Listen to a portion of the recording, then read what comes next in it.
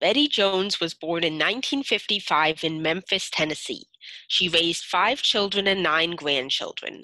She was killed on December 26, 2015, when she answered the door to let Chicago police officers in to help her upstairs neighbor, who had called 911 to resolve a domestic dispute.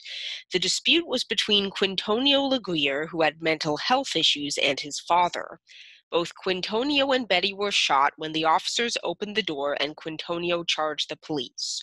Her daughter, Letitia Jones, was in the bathroom when the shooting occurred and came out to find her mother dying. Bettie was 55 and was active in her church and community. Quintonio, who was 19, was studying electrical engineering at Northern Illinois University and had lived in foster care for many years. After Bettie Jones died, her family filed a lawsuit with the city of Chicago and received a $16 million settlement.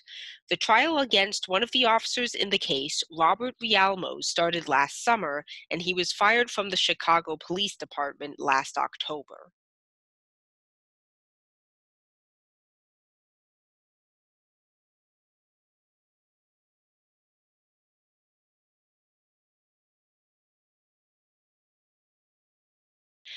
Today, standing up for the rights of those who are marginalized and discriminated against in our communities and nation is more important than ever. Please support these organizations and learn more about the countless ways racism and bigotry affect this country.